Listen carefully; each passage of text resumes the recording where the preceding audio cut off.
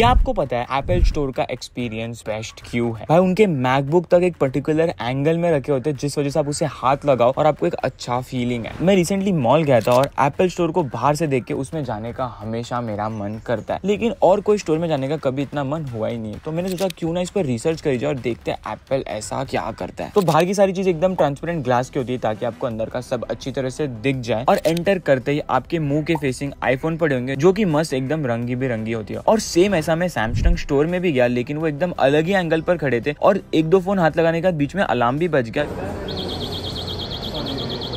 या जो कि बहुत विड़ा और उसके बाद मेरा मन ही नहीं हुआ है कोई भी फ़ोन को हाथ लगाने का। वो कहीं पर भी बड़ा फ्लैशी सेल डिस्काउंट वाला चीज़ें नहीं डालते प्राइस एकदम छोटे में लिखते। और सैमसंग में तो प्राइस लिखा तक नहीं था और सारे फ़ोन ब्लर थे। हम सबने देखा होगा कि एप्पल स्टोर पूरा व्हाइट होता है और सब कुछ बहुत ज़्यादा प्रीमियम लगता है। आप कमेंट में ज़रूर बताना, आपका एक्सपीरियंस कैसा था एप्पल स्टोर में?